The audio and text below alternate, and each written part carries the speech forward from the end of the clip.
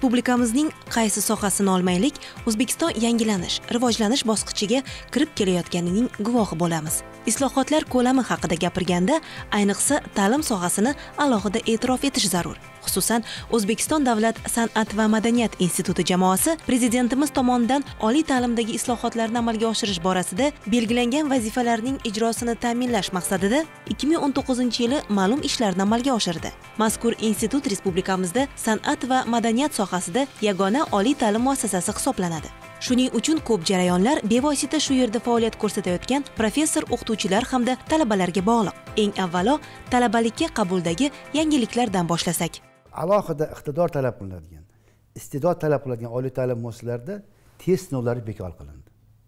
Ya'ni biz shu vaqtga o'sha paytga qadar ko'p gapirib keldikki biz e, asosiy shu sohaga xos bo'lgan iqtidorli talabalarni ololmayapmiz. Chunki testda boshqa fanlarni bilganlar kirib qolyapti degan vajlarni ko'rsatib berdik va bu test jarayonining bekor qilinishi va tegishli ta'lim yo'nalishlarida ijodiy imtihonlarning joriy etilishi men o'ylaymanki juda katta bir o'zgarish islohotning birinchi boshlanishi bo'ldi.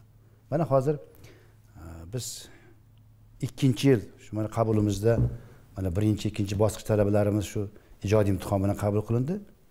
Keskin farq bor. Oliy ta'lim muassasasining o'rni. Bitiruvchilarning bilim darajasi yosh avlodga ta'lim tarbiya berayotgan professor o'qituvchilarning ilmiy salohiyati bilan bog'liq. O'zbekiston davlat san'at va madaniyat institutida so'nggi bir yil mobaynida 17 nafar o'qituvchi dotsent hamda professor ilmiy unvoniga sakkiz nafar xodim esa falsafa doktori phd ilmiy darajasiga ega bo'ldi. Ana shu sa'y harakatlar samarasi sifatida institutning ilmiy salohiyati qirq olti butun o'ndan ikki foizga yuksaldi. Respublikamizda ya'ni islohotlardan bittasi ikki ming o'n yettinchi yildan boshlab respublikamizda oliy ta'lim muassasalarini reyting e'lon qilinish boshlandi. Ellik oltita oliy ta'lim muassasasi qatnashgan bo'lsa respublikamizda ellik to'rtinchi o'rinni egalladik. Biz keyin kengashimizda buni muhokama qildik. Bu uyat biz uchun. Respublikada yagona bir oliy ta'lim muassasasi bo'lsakda ellik to'rtinchi o'rinni egallasak nima ishlar qilishimiz kerak? Yo'l xaritasini qilib chiqdik. ikki ming o'n to'qqizinchi yil juda qattiq ishladik. Hozir ilmiy salohiyatimiz salkam ellik foizga yetib yetdi. Biz ikki ming o'n sakkizinchi yil yakunlariga ko'ra ya'ni ikki ming o'n to'qqizinchi yil yozida e'lon qilindi. ellik to'rtinchi o'rindan o'ttiz pog'ona ko'tarilib yigirma to'rtinchi o'ringa chiqdik. Talabalarning bilim olishi va o'z sohasini har tomonlama chuqur o'rganishida eng avvalo sohaga doir o'quv adabiyotlarining salmog'i muhim ahamiyatga ega. O'quv qo'llanmalari qanchalik ko'p bo'lsa o'qituvchining dars jarayonini tushuntirishi talabaning esa tushunishi shunchalik oson kechadi. Aytish joiz institut jamoasi tomonidan barcha ta'lim yo'nalishlari kesimida san'at va madaniyatga oid fanlarga taalluqli o'quv adabiyotlari bilan ta'minlanganlik darajasi o'rganilib tahlil qilindi. Natijalarga ko'ra sohaga doir bir yuz qirq to'rt fandan o'quv adabiyotlari yaratish lozimligi aniqlandi. Ana shu muammoni hal etish maqsadida institut professor o'qituvchilari orasidan mualliflar guruhi tuzilib ikki ming o'n to'qqizinchi ikki ming yigirmanchi o'quv yilida oltmishdan ortiq o'quv adabiyotini yaratish rejalashtirildi. Natijada yetmish oltita fandan o'quv adabiyoti yaratildi. Bugunga qadar yigirma to'rt nomdagi o'quv adabiyotlari chop etilib institut axborot resurs markazi fondiga qo'yildi. Ulardan talabalar samarali foydalanishmoqda. Nafaqat kitob sifatida matn sifatida uni elektron variantlarini ham shu butun talabalarimiz foydalanish imkoniyatlarini yaratib qo'ydik. Endi ikkinchi masala olti kun o'qisak shundan to'rt kuni faqat ixtisosiy fanlari bo'lsin. Talaba har bitta yo'nalish bo'yicha o'zini kiyimiga ega bo'lsin. Operator masalan bilasiz ko'p cho'ntakli bo'ladi uni chunki soladigan narsasi ko'p. Ko'p cho'ntaylik bir yengsiz kurtkasi bo'lsin va qishda ustidan kiyiladigan yana bir qisqaroq kiyim bo'lsin. Aktyorni o'zini formasi rejissyorni o'zini bir mana shu hozir qilindi. Mana hozir uchinchi to'rtinchi kurslarimiz asosan to'rt kun faqat mutaxassislik fanlar haftani ikki kunida ular chiroyli kiyinib kelib boshqa ijtimoiy gumanitar fanlarni ixtisosli fanlar bilan aralashtirmagan holda o'tishadi. Institut talabalari turli respublika va xalqaro tadbirlarda muvaffaqiyatli qatnashib kelmoqda. Joriy yili teatr san'ati fakulteti talabalari buyuk britaniyaning jahonga mashhur rouz bruford universitetida yilda bir marotaba tashkillashtiriladigan xalqaro talabalar diplom spektaklida ishtirok etishdi. Safar davomida talabalar tomonidan sahnalashtirilgan shekspirning shoh asari gamlet ingliz teatrida o'zbek tilida ijro etildi. Jon takker angliyadan bir professor keldi rejissyor o'sha shekspirni gamlet spektaklini bizni shu birinchi kurs asosan birinchi kurs talabalarimiz sahnalashtirdi. Bu yil boshida bo'ldi. Mana shu ikki ming o'n to'qqizinchi yilning boshida bo'ldi.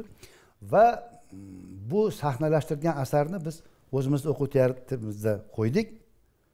Buyuk britaniya bilan bog'liq bugun diplomatik korpuslar bu yerdagi boshqa tashkilotlar kelib ko'rib ular tasannolar aytib britaniya kengashi tashabbusi bilan chiqdiki endi bu talabalar londonga borib london teatrlarida buni qo'yishsin. o'n beshga yaqin talabamiz ikki dona professor o'qituvchimiz londonga borib o'zbekiston tarixida birinchi marotaba talabalar teatri asosan birinchi bosqich talabalardan iborat bo'lgan talabalar teatri london ikkita teatrida shekspirning ona yurtida o'zbek tilida gamlet teatrini qo'yishdi. Bu juda katta yutuq. Bu ham shu muhtaram prezidentimiz tomonidan olib borilayotgan ochiqlik siyosati shu ta'limda kadrlar tayyorlashni sifatini oshirishga berilayotgan e'tiborning eng namunali mahsuli deb bilaman. O'zaro aloqalarni mustahkamlash tajriba almashish maqsadida dunyoning ko'plab san'at va madaniyatga ixtisoslashgan ta'lim muassasalari o'zbekiston davlat san'at va madaniyat instituti bilan hamkorlik qilish niyatida muzokaralar olib bormoqda. Bugungi kunda institutning mavjud xalqaro shartnomalari soni yigirmadan oshdi. Xususan o'tgan davr mobaynida chelyabinsk davlat madaniyat instituti jurgenov nomidagi qozog'iston milliy san'at akademiyasi qirg'iz turk manas universiteti mirzo tursunzoda nomidagi tojikiston davlat madaniyat va san'at instituti koreya milliy san'at universiteti belarus davlat san'at va madaniyat instituti dong a san'at va media instituti va boshqa ko'plab uzoq tarix hamda katta tajribaga ega xorijdagi ta'lim muassasalari bilan turli kelishuvlar imzolandi. Tashqi dunyoni biz tajribasini bilmasdan turib o'zimizni qobig'imizda o'ralib qolsak u biz taraqqiyot bosqichiga chiqa olmaymiz yoki dunyo miqyosida raqobatga dosh bera olmaymiz. Shuning uchun bu teatr kino umuman madaniyat sohasida tashqarida nima bo'lyapti buni bilish uchun yaratib berilgan juda katta imkoniyatlardan foydalanib mana biz dunyoni ko'plab davlatlarida mutaxassislarimiz ko'plab yoshlarimiz talabalarimiz bo'lib ketishyapti. Mana xususan rossiya federatsiyasida hozir biz to'rtta oliy ta'lim muassasasi bilan o'zaro hamkorlik shartnomalarini imzoladik. Davlatimiz rahbari tomonidan imzolangan milliy kino industriyani rivojlantirish bo'yicha qo'shimcha chora tadbirlar to'g'risidagi qarorda ikki ming yigirmanchi ikki ming yigirma birinchi o'quv yilidan boshlab toshkent shahrida kinematografiya sohasining malakali kadrlarini tayyorlash bo'yicha sergey gerasimov nomidagi butun rossiya kinematografiya davlat instituti qo'shma fakultetini ochish belgilangan. ikki ming o'n to'qqizinchi yilni boshida yanvar oyida o'zbek kinodan vakillar bo'lishdi biz institutdan borib biz e, rossiya madaniyat vazirligi rossiya prezident administratsiyasi oliy o'rta maxsus ta'limligi hamda kinematografiya instituti xodimlari bilan muzokaralar olib borib shu bizni institutimizda butun rossiya kinematografiya institutining ijodiy markazini tashkil etishda kelishib keldik. Va bu e, fevral oyidan boshlab ijodiy markaz o'z faoliyatini boshladi. Ijodiy markazni asosiy vazifasi nima? Ijodiy markazning asosiy vazifasi shu kino sohasida kinematografiya instituti uchun kadrlarni jo'natishda tanlovni amalga oshiradi. Mana hozir katta rejalar qildik. Mana kelgusi o'quv yilidan boshlab yigirmanchi yigirma birinchi o'quv yilidan boshlab o'zbek kino juda katta tashabbus bilan chiqdi. Sakkizta bo'lg'usi talaba abituriyentlardan tanlab olingan talaba o'sha vigikka borib to'rtta ixtisoslik bo'yicha o'qish kerak. Demak mana shu o'quvchilarni talabalar abituriyentlar ichidan qanday tanlab olamiz?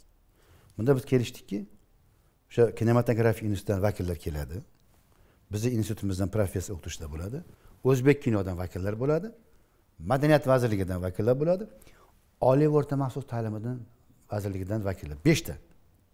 Bizni mana shu ijodiy markazimizda vigikni biz institutimiz ijodiy markazida amalga oshiriladi va konkurs asosida abituriyentlar ichidan tanlab ijodiy imtihon sifatida uni biz kinematograf institutiga o'qishga yuboramiz. Markazning asosiy maqsadi qarorda belgilangan vazifalarni xususan ikki ming o'n to'qqizinchi ikki ming yigirmanchi o'quv yilidan e'tiboran o'zbekiston davlat san'at va madaniyat instituti bakalavriatining ixtisoslashgan yo'nalishlari bitiruvchilari uchun kinematografiya instituti assistentura stajirovkasi ijro etuvchi prodyuser dramaturgiya va audiovizual san'at rejissurasi mutaxassisliklari bo'yicha kadrlarni saralash va o'qishga tavsiya etish institut o'qituvchilarini malaka oshirishga tanlab yuborish bo'yicha takliflar tayyorlash har ikkala institut talabalarining o'zaro amaliyotlarini tashkil etish. ikki ming yigirmanchi ikki ming yigirma birinchi o'quv yilida respublikamizda kinematografiya instituti filialini ochishga zamin hozirlash kabilardan iborat.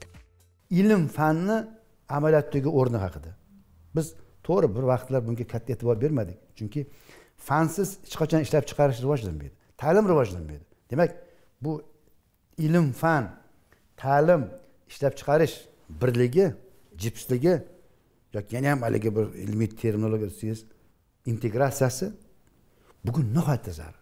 Chunki bu kinomiz hozir bugungi o'zbek kinosi o'zbek teatri men aytishim mumkin yangi bir bosqichga ko'tarilyapti. O'zidan juda katta islohotlarni o'tkazyapti. Davlat bunga juda katta mablag' ajratyapti. Demak shunga monand ravishda biz o'sha kino mahsulotlarimizni chiqarishimiz kerak. Davlatimiz rahbari tomonidan qabul qilingan mazkur qarorda belgilangan vazifalarning ijrosini ta'minlash maqsadida ya'ni kinematografiya sohasining malakali kadrlarini tayyorlash borasida institut professor o'qituvchilari tomonidan qator ishlar amalga oshirilyapti. Xususan talabalar birinchi bosqichdayoq amaliyotga jalb qilinyapti. Yosh tasvirchilar kino serial multfilmlarni suratga olish jarayonlariga jalb etilib nazariy bilimlari amaliy ko'nikmalar bilan mustahkamlanishiga erishilmoqda. Yoshlarimizni mana shunaqa amaliy darslarni ko'chma darslarni tashkillashtiryapmiz. Albatta hozir bu yerda o'sha erkin o'qish vaqtimning e, sizsiz o'tmas kunlarim nomli o'n besh qismli seriali tasvirga olish jarayoni. Bu yerda rejissyor e, ziyoda sheraliyeva men operator sifatida bayda rahbar sifatida bu yerda ishlayapmiz. Hozir mana shu yerda amaliy talabalarimiz uchun amaliy jarayonlar ketyapti. Bu yerda o'sha bog'cha sahnasi o'ynayapmiz. Mana ko'rib turganingizdek e, o'sha ko'p kamerali qilib tasvirga olinyapti bu serial. O'sha jarayonlarda mana talabalarimiz va boshqalarimiz amaliy ishlarni qilib tajribalarni oshirib kelmoqdalar. Bunday darslarimiz e, bo'lmagan edi oldin bo'lmagan deb aytsak ham bo'ladi. Mana o'sha talabalarimizni ko'rib turibsizlar maxsus kiyimlarda o'sha institut rahbariyati tomonidan ikkita vazirliklar tomonidan bizga shunaqa sharoitlar yaratib berildiki serial jarayonida kimdir operator kimdir operator yordamchisi yoki kimdir rassom animator yo bir dekorator sifatida faoliyat olib borilyapti. Shu jarayonda albatta talabalarimiz bevosita o'zlarini e, amaliy ishlarini bajarib o'sha kelajakda ishlab chiqarishga borayotgan joylarda qiynalmasligi uchun mana shu amaliy darslarni e, shu bular uchun tajriba oshirish maqsadida shunday ishlarni tashkil qilganmiz. Bular yosh bo'lishiga qaramasdan talaba hali institutda e, ko'p o'qishiga qaramasdan bular judayam mohirona ish olib borishmoqda. Vaqtida kameralarni qo'yib chiroqlarni qo'yib e, judayam haligi mutaxassis bo'lib yetishibdi. Man hayron qoldim. Hammamiz hamjihatlikda ish olib boryapmiz. E, judayam minnatdorman. Institutda amalga oshirilayotgan ijobiy o'zgarishlarni talabalar dildan his etib ularga o'z munosabatlarini bildiryapti.